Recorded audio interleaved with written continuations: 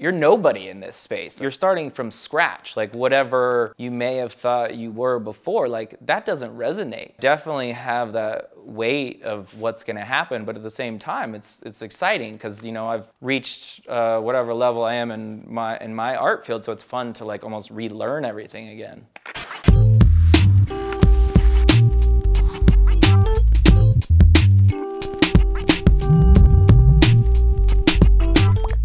First, welcome to the Ween Factory.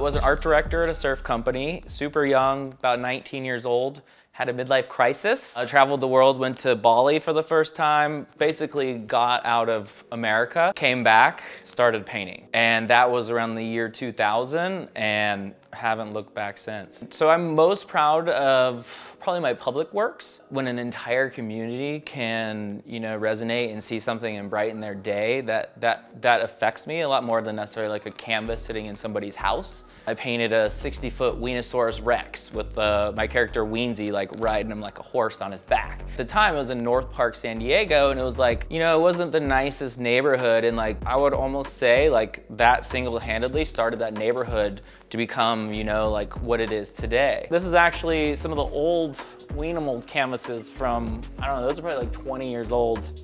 Uh, Weensy, Ween Bear, Ween Fishman, Ween Bear again, Ween Giraffe, which is in the Kanye video, Ween Bear, Ween Shark, Flow. The Ween originates back from uh, marketing meetings that I was in, and it reminded me like that movie Office Space, where you just like, you basically turn your brain off and they're just talking, talking, talking. So what I would do is I'll just doodle on my, you know, like 10 page TPS reports. And what spawned out of that was the same character. I was basically drawing the same guy. He had like these giant eyebrows, had fours in his eyes and had like these snaggle teeth. The Kobe piece, that was actually really important as well. So where I, I was in California for the last 20 years, uh, Kobe lived right up the street.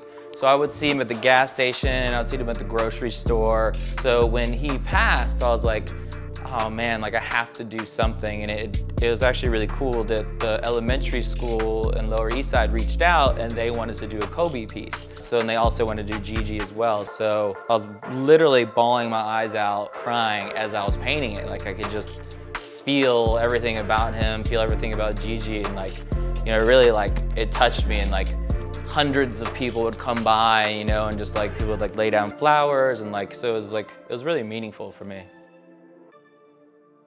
My next project, uh, The Weenimals. The Weenimals is gonna be 8,444. Uh, I don't know if people notice, but everything is in, in fours which is a secret, same as their eyes, has fours in them. What I'm basically doing is taking my main stars, so Weensy is my number one, Weenosaurus Rex is number two. What I've tried to make individual unique for this project is going back to the roots of why I started creating art in the first place. Weensy, for instance, he paints graffiti. So there's a lot of like him tagging different ways. Uh, he's a surfer, he's got different surfboards. He's a skateboarder, he's got different skateboards. So it's putting the things that I like into the project. One of the one of ones, you're gonna get a commission painting from me. So there's gonna be X amount of uh, Ween Surf Club surfboards, but there are certain ones where utility is where we're gonna go to wave pools from Kelly Slater's wave pool to the wave pool in Texas, just depending on the availability. Disorder is Nyjah Huston's skateboard brand. So this is actually going to be a deck that's coming out within the next month or two. And if you have this NFT, you're gonna be able to, we're gonna give you a signed edition. I'm gonna sign it, Nyjah's gonna sign it. Uh, hopefully you'll be able to go and skate his park in California with him, which would be really cool too. Bringing in my, my friends, the people that I associate with, and like bringing them into the community. And then now you have access to these people and like, you know, let's go to Nyjah's skate park. Like things that necessarily normal people couldn't do, but bringing, since they're a part of my community, then they're welcomed in. This is the OG uh, Weensy. That's, that's basically what started it all for me. That background, this colorway, that's what's on the Nike shoe. If you see, we got Weensy on the bottom, which is really cool. We got uh, glow in the dark teeth. Uh, there's always like glow in the dark features, which are super cool. And then there I am right there, Mad Steez, baby. My creative process stems from real life. Literally walk outside my front door, I'll see some interesting person. Kind of like shy or whatever, it takes me like, I'll like literally stalk a person like a couple blocks down the road and be like, like, okay, I can talk to this person and like, like, hey, like, kind of like take your photo. Like, I'd love to use you for a portrait. Things that make me laugh, like satirical things, basis of like Curb Your Enthusiasm, Seinfeld, things that you don't necessarily think are funny or whatever. That I feel like comes into my work, especially like with my character work. To be honest, color is a huge part of everything.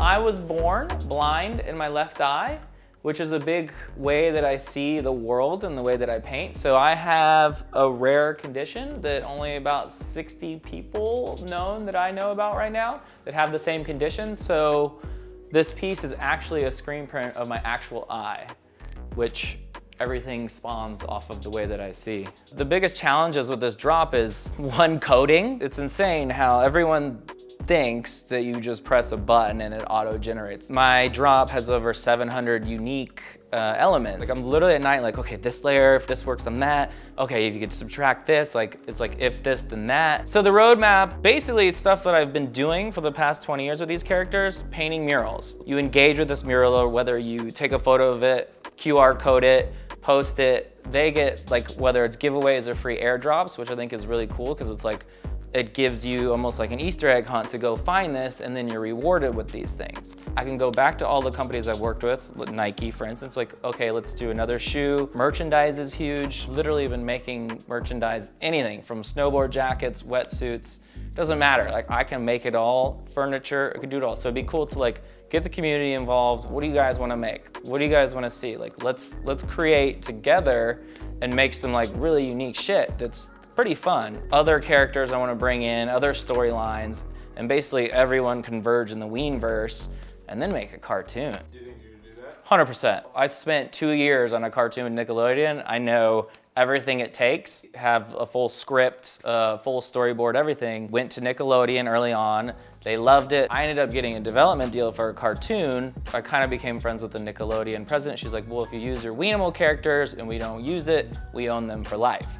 So she kind of deterred me from using those characters. I'm here to have a good time, you know? Like I want to have other people have a good time. So it's like, it's about uplifting and like, you know, just basically brightening people's day. Counterculture with NFT artists was similar to what I felt like when street artists and muralists kind of came onto the scenes. We kind of erupted out of a scene of like, you know, there's like graffiti writers and not necessarily mural painters, but I feel like we kind of like were a counterculture and like we created this subdivision. And then I feel like the evolution of that is now all these NFT artists just kind of like popped up out of, out of nowhere the same way that like kind of street artists did. And I feel like I was at the forefront of the street artists and I'm catching up to what's happening in the NFT space. So it's cool to see that it's become as huge as it is. Like I just, it's, it's, it's been so much more attainable, you know, because you don't need space, you don't need a wall. You can literally sit at home and create art all day. And that's what's, I think, pretty exciting. It's like anyone could do it.